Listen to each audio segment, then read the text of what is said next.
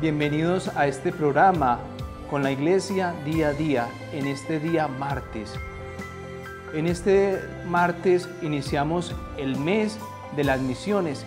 En este octubre es un mes misionero en la que comenzamos en este día con la vocación, con la advocación de Santa Teresita del Niño Jesús. Esta mujer desde su claustro oraba por las misiones. Es una invitación que nos hace el Señor a abrir nuestro corazón para entregárselo a Él. Escuchemos con atención la palabra del Señor.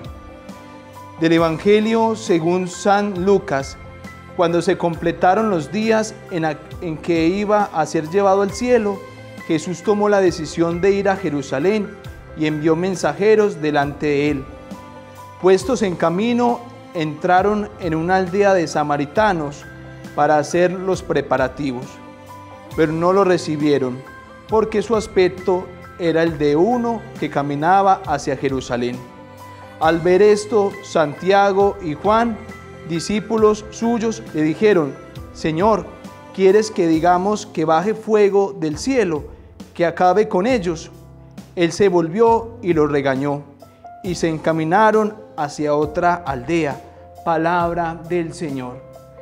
Qué especial es esta palabra para nosotros el Señor nos quiere decir, de alguna manera, nos quiere decir de que Él viene a bendecirnos, no a maldecirnos, no a, castigarnos, no a condenarnos. Eso es lo que muchos de nosotros pensamos o queremos, que baje fuego del cielo. Pero Jesús no quiere eso sobre cada uno de nosotros. Jesús tiene ese deseo de ir a, Jerusalén. ¿Para qué?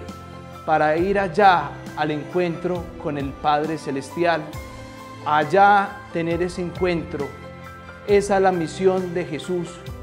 A eso vino Jesús a este mundo. ¿A qué? A salvarnos, a bendecirnos.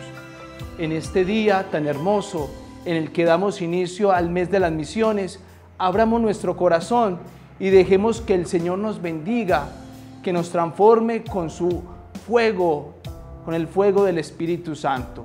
Que el Señor los bendiga.